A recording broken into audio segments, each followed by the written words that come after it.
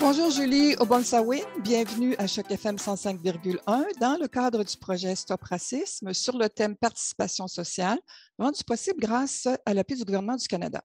Alors, Julie Obonsawin, tu es bien connue, tu fais partie de la nation Abénakis, n'est-ce pas? Et tu es basée au Québec.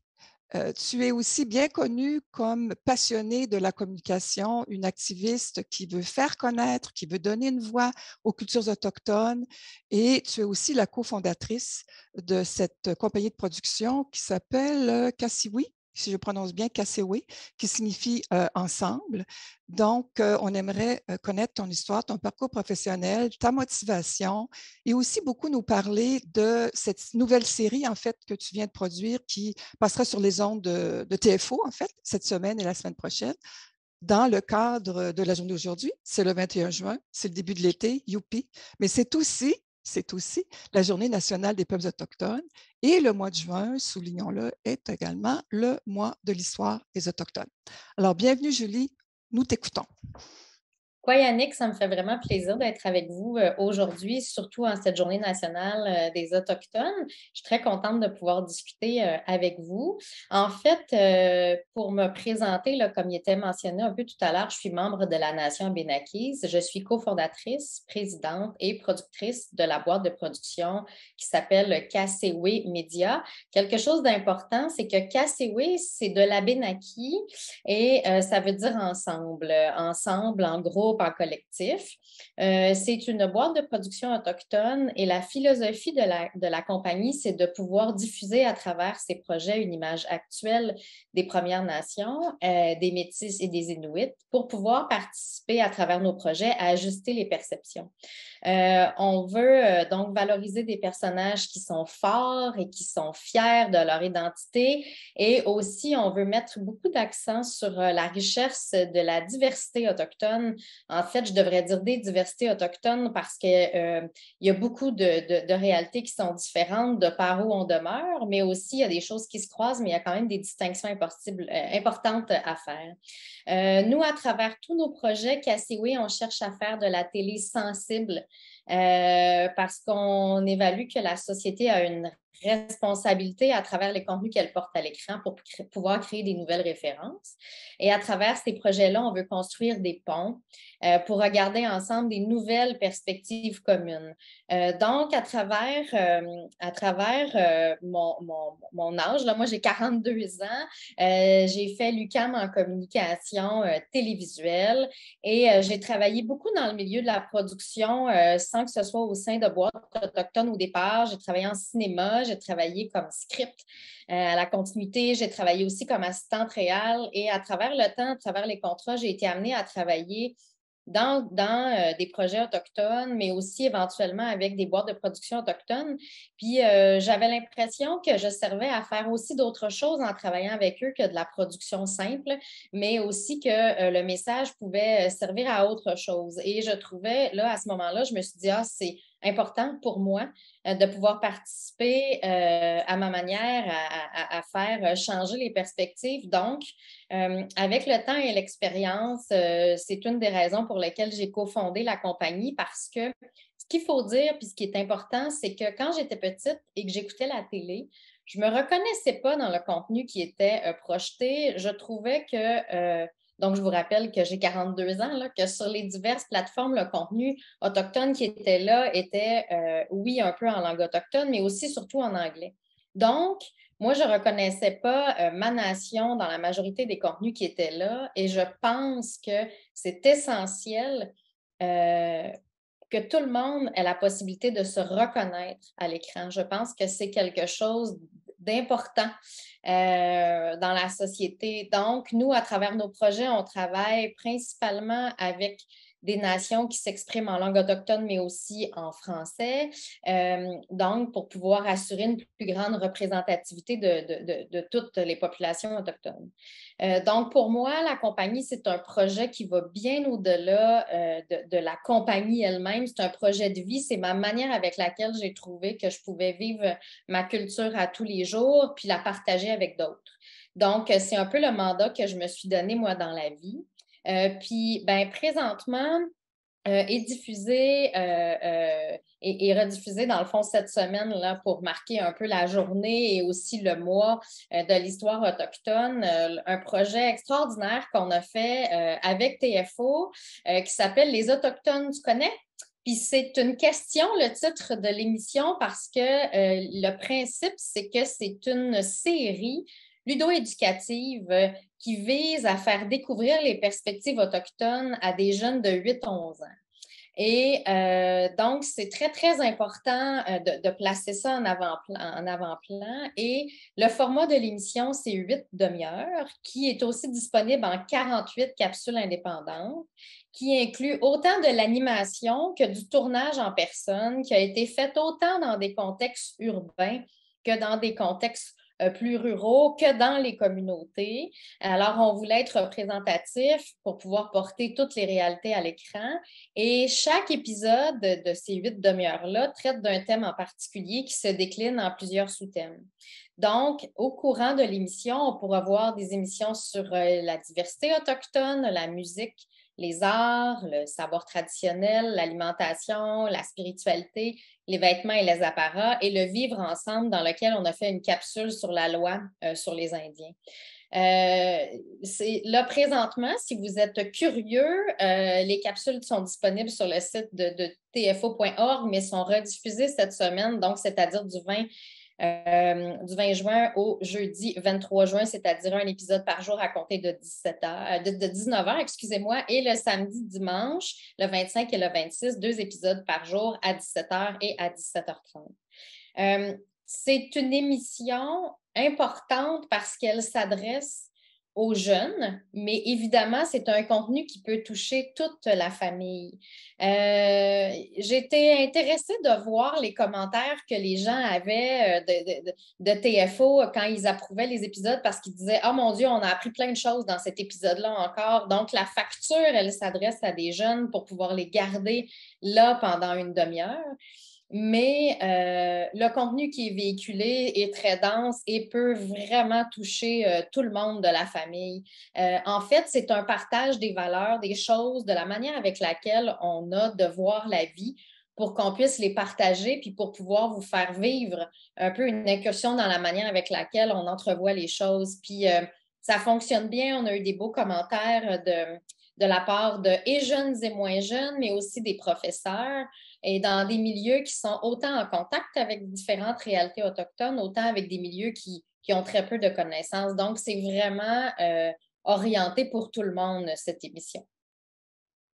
Donc, les capsules peuvent être évidemment utilisées par les écoles, dans les écoles, euh, par les différents organismes communautaires, par exemple, selon les intérêts de vouloir découvrir davantage les cultures autochtones. En fait, elles sont disponibles sur une plateforme de TFO qui est une plateforme éducative euh, euh, selon les accès. donc, je ne pourrais pas vous donner le, grand détail, mais euh, qu'elles sont accessibles pour le, système d'éducation de l'Ontario. Et d'ailleurs, quelque chose d'important à dire, c'est que quand on a développé l'émission, quand on a fait les brainstorms sur les thématiques et les sous-thématiques de chacun des épisodes, on s'est assis avec des gens euh, des nations autochtones qui étaient, eux, des consultants pour euh, le système éducatif de l'Ontario pour s'assurer que les thématiques dont on parlait, les enfants de 8-11 ans avaient eu des enseignements pour comprendre ce dont on parlait. Donc, on s'est collé sur le système éducatif de l'Ontario au niveau de la vision des concepts qu'ils avaient euh, qui touchaient les Autochtones, mais on a aussi travaillé avec euh, des anthropologues euh, qui nous ont aidés à développer les, les sujets autant qu'avec des gens des nations qui se retrouvent dans, dans le show. Donc, c'est vraiment un travail de création très collaboratif qui a eu lieu, mais qui visait toujours de pouvoir assurer qu'on raconte les choses d'une manière accessible pour le public visé. Donc, en quoi ça consiste? Peux-tu me donner un, exemple d'une capsule d'une demi-heure, par exemple? à quoi on peut s'attendre? Ben, en fait, euh, c'est les épisodes qui sont d'une demi-heure, puis les capsules sont d'une durée de entre 3 minutes et 3 minutes 45, là, avec le générique. Par exemple, dans l'émission sur euh, sur euh, le, par exemple, l'alimentation. Je donne un exemple. Alors, ça, c'est l'épisode complet, c'est la demi-heure sur l'alimentation. Il y a des sous-thématiques euh, où on parle, par exemple, de la bannique, où on va parler ça va se décliner en plusieurs différentes thématiques. Donc, si par exemple, on retourne sur le site de typefo.org, on peut regarder seulement la capsule sur la bannique. La différence entre l'émission d'une demi-heure versus chaque capsule, c'est que de la manière que les épisodes sont bâtis, il y a des liens qui font le lien entre chacune des thématiques et qui présentent la grande thématique de l'épisode qui a été tourné avec des animateurs autochtones et des jeunes euh, à Montréal et dans les environs. Et dans le cœur des capsules, il y a du contenu qui a été tourné dans les communautés et il y a une proportion aussi qui est en animation. Donc, dans l'ensemble d'une demi-heure, on retrouve tout l'ensemble de ça. Et dans chacune des capsules, tout dépendamment de ce dont on parle, bien, on est dans une communauté, certaines fois, des fois aussi en contexte urbain et aussi en animation. Donc, c'est chaque petite thématique d'une grande thématique qui représente chacune des capsules. Oui, très complet, très, très complet. euh, tu as mentionné la bannique. Je ne sais pas si le- les, les auditeurs connaissent. C'est quoi la bannique? Ben, la bannique, c'est euh, un pain, euh, c'est un pain euh, qui est très présent pour nous euh, dans les différents événements, mais aussi dans les familles, dans les regroupements. C'est quelque chose qui est assez commun à toutes les nations. Et par exemple, si vous allez, on va vous inviter à venir cet été dans les powwows, à venir rencontrer les gens, à sortir de chez vous, à pouvoir voir. Il y a des powwows qui sont compétitifs, il y a des powwows qui sont euh, plus traditionnels, il y a des powwows qui sont aussi plus familiaux. Ça dépend des communautés, mais dans chacun de ces événements-là, euh, souvent, il y a différents kiosques qui sont là où il y a de la nourriture aussi qui est plus traditionnelle. Comme si vous venez à Odanak, par exemple, vous allez pouvoir manger euh, euh, du poisson fumé. Euh, ça aussi, c'est bien typique de, chez nous, mais la bannique est quelque chose de commun. Alors, euh, ce qui est intéressant dans la capsule de la bannique, c'est qu'on explique aussi que tout dépendamment des nations, il y a plusieurs manières de la préparer, de la cuire. On peut la préparer dans la braise du feu, on peut la préparer dans une poêle. Il y a plein de manières de, fonctionner en fonction de la réalité dans laquelle, dans laquelle on est. Merci des détails. Ça a l'air euh, ça a l'air, euh, ça a l'air bon. Très bon. ça a l'air bon. tu as mentionné aussi les powwows. Euh, écoute, moi, j'ai eu l'opportunité de, de citer un powwow il y a quelques années dans le nord de l'Ontario. J'ai trouvé ça extraordinaire. J'ai trouvé ça fabuleux. Pour moi, ça a été vraiment une fenêtre extraordinaire sur la richesse de- de- de- des cultures autochtones. Euh, j'ai adoré. Donc, euh, j'aimerais, j'aimerais que tu nous partages un peu en quoi ça consiste un powwow. Ben, il y a plusieurs, euh, il y a plusieurs différents types de power. Comme je disais tout à l'heure, il y a des power compétitifs. Vous savez, quand on voit les gens qui dansent, qui sont en régalia, qui sont les habits traditionnels, les habits de cérémonie que les gens portent, euh, euh, c'est vraiment, il y a des gens qui sont des danseurs euh, professionnels qui font de la compétition. La différence, comment on fait pour voir ça, c'est que si on est dans un, dans power compétitif, les gens ont des numéros euh, sur eux, en fait. Puis, ben, ils participent à la compétition. Puis, il y a des powwows dans lesquels, euh, par exemple, il n'y a pas de compétition où c'est vraiment plus familial. Alors, ça dépend vraiment de, la dynamique. Chaque communauté organise euh, organise souvent, c'est sur une journée ou sur deux jours, plusieurs choses autour des powwows. Ce n'est pas une chose unique qui est toujours de la même manière. C'est chaque communauté la bâtie. Mais le- les éléments communs, c'est que euh, les éléments communs, c'est qu'il y a toujours une ouverture du centre où les gens vont danser, euh, qui est fait avec euh, de, manière traditionnelle, avec souvent des anciens euh, combattants, le chef de la communauté. Euh, donc, c'est quelque, c'est une ouverture, une entrée traditionnelle, une entrée importante. Et ensuite de ça, il y a aussi toute l'étape de la compétition ou simplement des danses qui vont être, être faites. Et tout dépendamment ben, de, de la grosseur de l'événement, de comment la communauté prévoit, ben, souvent, c'est aussi un événement où il y a euh, des gens qui se regroupent euh, d'une même nation, mais qui seraient euh, étendus dans le territoire en plusieurs communautés différentes. C'est une manière de se retrouver aussi autour d'un événement, mais c'est aussi une manière pour les danseurs de se promener, pour ceux qui font de la compétition, par exemple. Puis, dans ces événements-là, comme je le disais tout à l'heure, il y a différentes options pour pouvoir manger des trucs qui sont plus typiques de, ce qu'on consomme. Puis il y a aussi, tout dépendamment de, de, des powwows, aussi de l'artisanat qui est disponible, qu'on peut, qu'on peut acheter sur place. Euh, ce que les gens aime souvent aussi, c'est que euh, c'est des choses, il y a beaucoup d'apparat dans les powwows, il y a beaucoup d'apparat. Donc, il y a les régalias. Euh, on a aussi d'ailleurs une capsule sur les régalias. Je vais vous inviter à, aller l'écouter pour expliquer un peu c'est quoi, au-delà du côté esthétique, qu'est-ce que ça représente pour le danseur, c'est quoi la connexion, qu'est-ce que ça veut dire pour que les gens puissent bien saisir que c'est au-delà de l'apparence?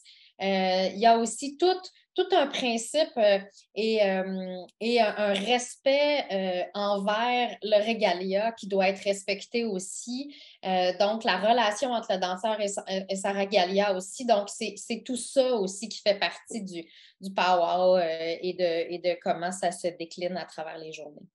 Alors, dirais-tu que ce sont, par exemple, des, moi, ce que j'ai remarqué, c'est que ça m'est apparu comme un défilé avec plusieurs différentes danses, différents costumes traditionnels. Est-ce que tu es en train de nous expliquer que ces danses, en fait, ont pour objectif de, transmettre les valeurs, de transmettre les valeurs, certaines valeurs des peuples autochtones? Ben, en fait, euh, il y a plusieurs aspects euh, là-dedans. Euh, les, les, les, régalias, nous, on dit que ce n'est pas des costumes, mais ce sont des habits de cérémonie, en fait, qui sont liés à, un événement, à un élément, à un type de danse. Ce qui est important, c'est que le régalia, par exemple, si on, pense aux danseuses à clochettes, ben, elles ont autant de clochettes qu'il y a de jours dans une année sur le régalia. Donc, euh, théoriquement, les gens, ce que, ce que moi je sais, parce que je ne suis pas une danseuse de clochette, c'est que pour, pour, bâtir la relation avec, avec sa régalia, c'est que les gens euh, devaient en installer une cloche sur euh, leur habit par jour. Donc, il y a vraiment une relation qui s'établit entre la personne et sa régalia.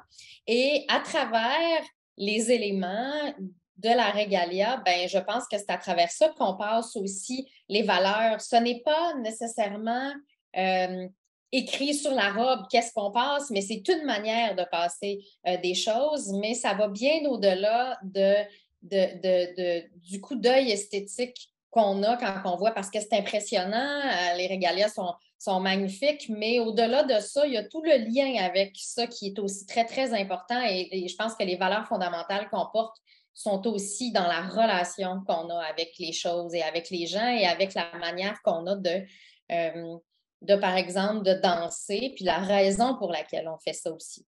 Parce que la danse, finalement, c'est un symbole culturel. Hein. C'est un symbole culturel, la danse.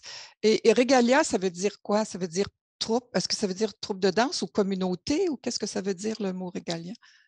Ah ben, je ne pourrais pas vous le préciser, qu'est-ce que ça veut dire euh, la regalia, mais euh, c'est la manière avec laquelle on nomme l'habit euh, de ah, cérémonie D'accord. des danseurs. C'est la régalia. D'accord. Alors, revenons à, ta série, Les Autochtones. Tu connais? Euh, quel, est, quel, quel, ton objectif principal? Quelle est ta motivation derrière cette, série qui, en fait, d'après ta description, est franchement hautement éducative? C'est un outil de sensibilisation culturelle, d'information. Euh, est-ce que tu crois que ça va permettre une meilleure inclusion sociale des Autochtones? Comment, comment, quelle est ton, ben, ton articulation? Quand on mmh présente les Autochtones, tu connais, on dit que c'est une série ludo-éducative. Ça, c'est la première chose importante. Je crois que l'aspect éducatif des choses ne doit pas nécessairement être ardu, ça peut être sympathique aussi. C'est pour ça qu'on a intégré aussi de l'animation dans le cœur euh, de l'émission. Donc, ça s'adresse, oui, aux 8-11 ans, mais ça se veut. L'idée du collectif est très importante chez les Premières Nations. Donc, nous, ce qu'on veut, c'est faire un contenu qui peut regrouper une famille, qui peut être écouté par plusieurs personnes euh, d'une même maison. Puis, en fait, on vise de permettre aux jeunes Canadiens de mieux connaître les cultures les perspectives autochtones des, Premières Nations, des Métis et des Inuits. Euh, je pense que la raison pour laquelle on porte ce genre de sujet à l'écran, c'est que moi, je crois vraiment que si on partage nos manières de voir, puis si on donne plus de contenu euh, lié aux Autochtones qui est disponible sur nos différents écrans, les gens vont plus comprendre notre manière de voir les choses. Et je pense que c'est aussi dans ce type de partage-là et d'échange-là euh, dans un monde qui est plus ouvert que ce que c'était il n'y a, pas si longtemps, là, on s'entend, euh, qui va permettre tout ensemble de regarder des nouveaux horizons.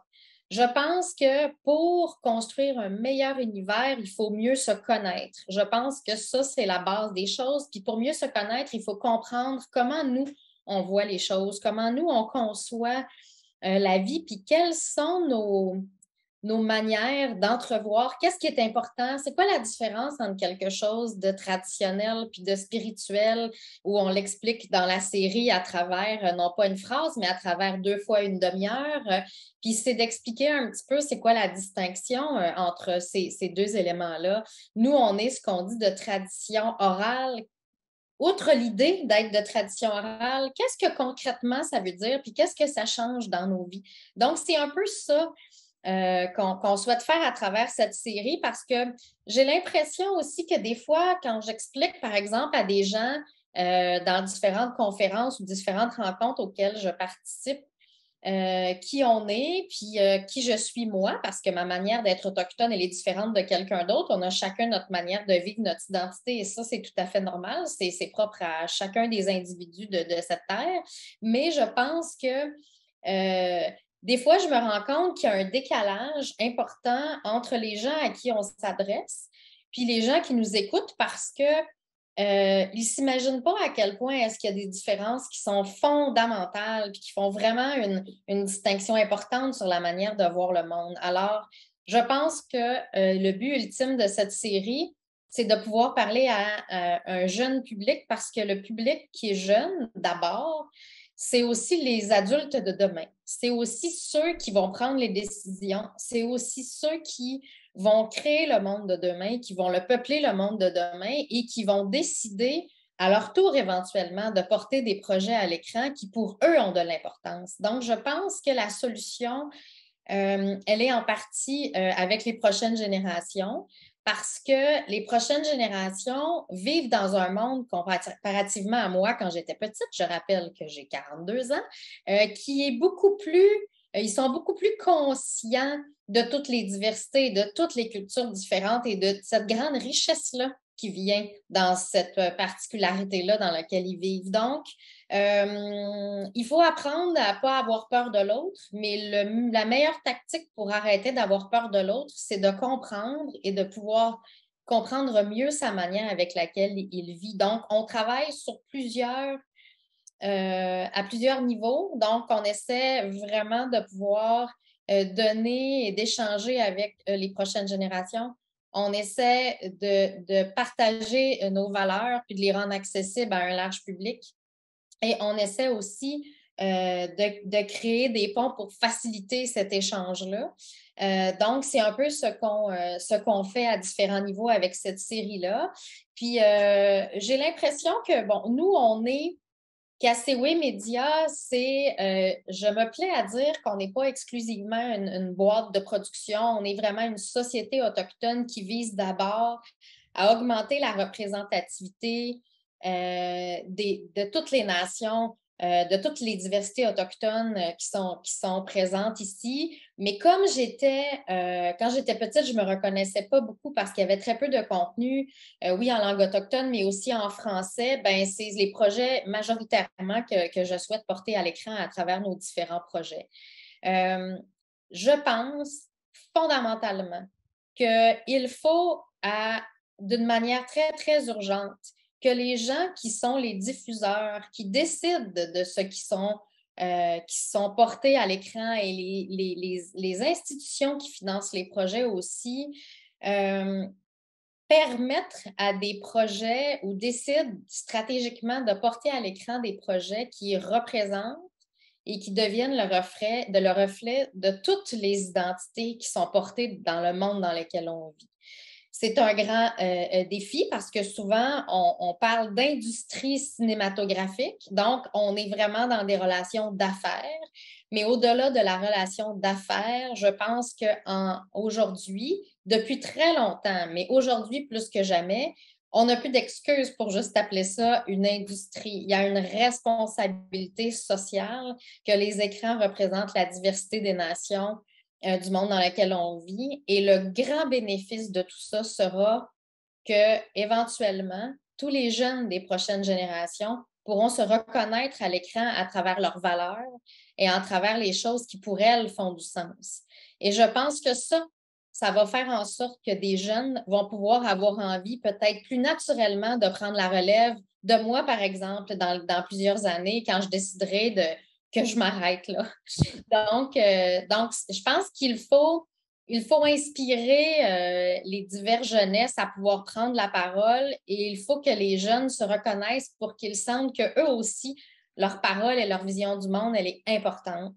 Elle a sa place et elle est euh, valable au même titre que les autres. Et ça, je pense que c'est très important de mettre l'emphase là-dessus. Parce qu'il y a quelque chose d'essentiel, c'est qu'il faut se rappeler qu'on traîne tous euh, comme, comme personnes euh, autochtones, Premières Nations, Métis ou Inuit, le poids de l'histoire à différents niveaux. On, on, a des vécus qui se recroisent les uns avec les autres sur certains aspects, qui diffèrent sur d'autres mais euh, on a tous le poids de l'histoire et je pense que c'est très important de valoriser la parole des jeunes autochtones présentement, puis de leur, de leur permettre euh, à travers des émissions comme ça de se reconnaître parce qu'eux aussi, à leur tour, peuvent devenir des acteurs de changement et ils ont de la place pour le faire. Merci beaucoup de ce très, très, très riche témoignage, Julie.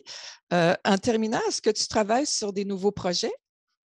Certainement, je travaille sur beaucoup de projets dont je ne peux pas vous donner trop de détails, mais je peux, vous, dire, vous dire, quand même qu'on est en train de développer une, notre première série jeunesse. diffuseurs et partenaires seront à annoncer sous peu. On est en train de développer aussi un, long métrage euh, avec des créateurs euh, autochtones. On est en train aussi de développer euh, différentes séries documentaires. ça, c'est les projets en développement. Mais on, cette année, parce que là, on se remet tranquillement du COVID, hein, vous savez que pour les, les, pour les boîtes de production autochtones qui travaillaient avec les communautés et beaucoup de contenu était tourné originalement dans les communautés autochtones, bien, on a vraiment euh, été arrêté de tourner pendant un moment pour pouvoir protéger euh, les, communautés puis pas les mettre à risque. Donc là, on repart là, euh, les projets qui devaient se tourner aussi l'année dernière et qui ont été reportés à cette année, en plus des projets de cette année en tournage. Donc, cette année, on fera en tournage euh, sûrement une série documentaire, une autre à confirmer dans les prochains jours aussi. Donc, on est à un moment où il y a beaucoup de choses qui, bougent. Là. longue vie, longue vie à Kassewi. Euh, je rappelle que donc, les Autochtones, tu connais, hein, passent cette semaine sur les ondes de TFO jusqu'à jeudi hein, à 19h, c'est ça? Et la semaine prochaine, euh, enfin non, en fin de semaine, je crois, le 25-26, n'est-ce pas? 25-26 juin, à 17h euh, et à 17h30. Oléoné, ça me fait plaisir et euh, je vous invite à, venir nous découvrir à travers l'émission et euh, un grand merci de nous avoir reçus, Oléoné. Merci, à bientôt.